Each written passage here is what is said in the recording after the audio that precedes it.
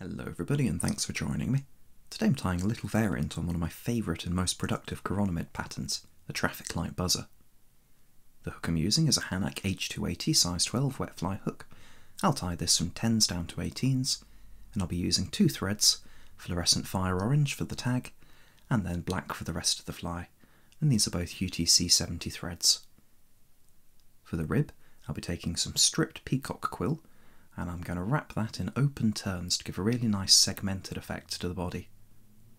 Up at the thorax, there's two cheeks on this fly, and I'm using some dyed orange goose biots for those.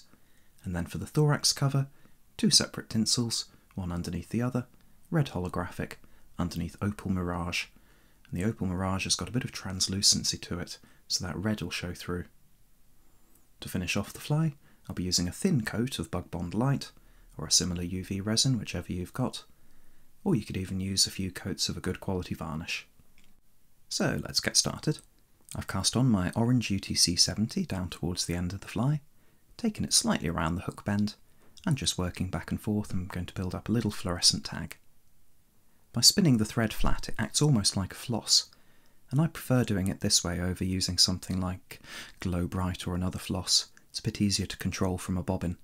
Use what you have to hand, this is just how I do it. Now I've cast off my orange thread, cast on my black, and run it down the length of the hook shank. Here I'm going to tie on my ribbing material, and that's that stripped peacock quill. I've lightly dampened it to give it a bit more flexibility, after all it can be quite brittle, and I'm tying it in by the tip, running my thread up, down and then back up again, just to even out that body. I don't want to build up a huge amount of bulk by any stretch of the imagination, these little chironomid midge larvae. They're quite skinny and spindly little things, so I don't want to overdress the fly. Now, using my fingers and my rotary vise, I'm going to wrap in nice even but open turns, leaving plenty of black showing through, and you can see that that quill's going to give a really nice segmented effect. It's quite pronounced on the naturals, this segmentation, so it's well worth representing on your imitation patterns as well.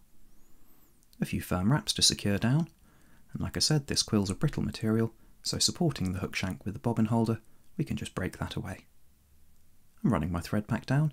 I'm aiming to make my thorax about a fifth to a quarter of the length of the overall body. And the first material we need to tie in for the thorax is the cheeks, and I want these to be on the side of the hook and directly in line with the hook shank. Notice also that I've tied in these biots with the curved side pointing inwards. That way, once we fold them forwards, that'll be on the outside, representing the wing buds of the midge larva. I flip the fly over in the vise to make sure I've got a nice even catch in and there's be a nice symmetrical set of cheeks. Looking from above the fly now, I'm going to tie in my first tinsel, the Opal Mirage, making a couple of loose wraps, positioning it dead centre and drawing it through to length. The closer to the centre line that you can get these tinsels positioned now, the better your thorax cover will look. And of course, the translucency means that a little bit of the colour and pattern from this red holographic tinsel will show through.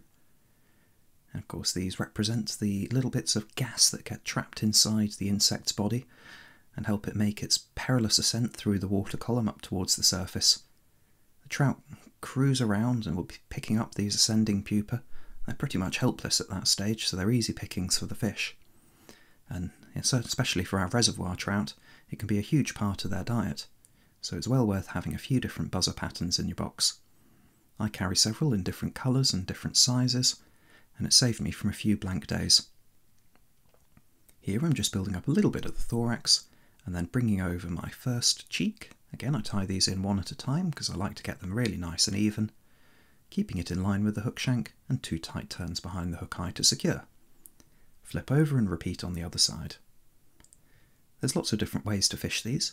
I quite like to fish mine dead drifted with a floating line and a long leader, just letting them do their own thing in the water column, letting the wind take them. If it's a bit calmer, you can also fish them on a vertical rig underneath a dropper, or God forbid a bung, and you could even fish it as part of a washing line set up behind a booby.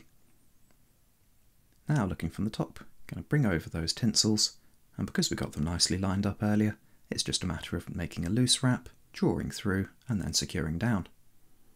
That's pretty much all the tying done now. Once we secure that down, trim away the excess, we can build up a little bit of a head and whip finish. I'd go so far as to say that varnishing these is almost mandatory. There's no reason you couldn't fish it like this, but it wouldn't be a very durable fly at all. And also, adding that little bit of varnish not only protects it, but also really intensifies all the colours and adds a lot of depth to the segmentation. You'll see in a minute when the UV resin goes on, that wet look really helps bring a nice luster and a nice saturation and depth to the fly. They're really, really simple insects, these, but I think it's definitely worth representing them. I say it's such a key part of the trout's diet that you'd be almost mad to go and fish reservoirs without at least a few chironomid patterns. For people elsewhere in the world, don't worry, these bugs are all over the place. I think they're on every continent except Antarctica, so do give this one a go as well. I'm using my thin resin here. It's a little bit easier to spread out into a nice even thin layer than the slightly thicker resin.